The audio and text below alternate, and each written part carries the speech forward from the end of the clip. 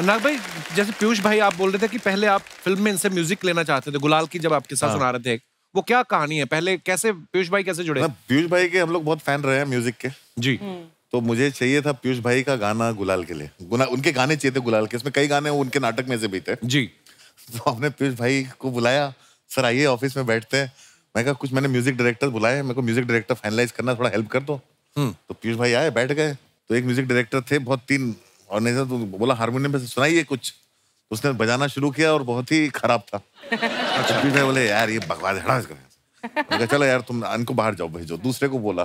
दूसरा बजाना शुरू किया वो और खराब था वो पीयूष भाई और रखे तीसरे वाले जब बजाना शुरू किया पीयूष भाई ने बोला यार तुम हटो यार इधर दो हारमोनियम हाँ। और फिर उन्होंने बजाया मैं पीयूष भाई यही तो चाहिए